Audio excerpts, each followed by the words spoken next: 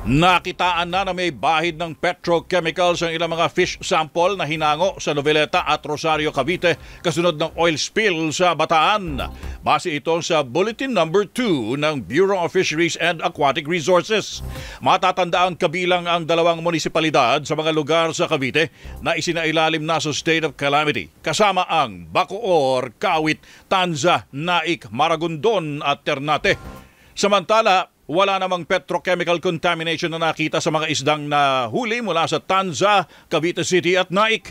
Tiniyak din ng BIFAR na patuloy ang fish sampling sa mga apektadong lugar.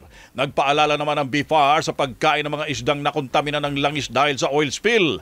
Sinabi ni BIFAR Region 3 Director Wil- Wilfredo Cruz na hindi ligtas para kainin ng mga isda sa mga, mga lugar na may oil slick kahit ito ay hugasan pa ng maigi at lutuin, lalasa pa rin niya ang langis. Kaya paalala ng opisyal, basta may amoy, huwag nang kainin.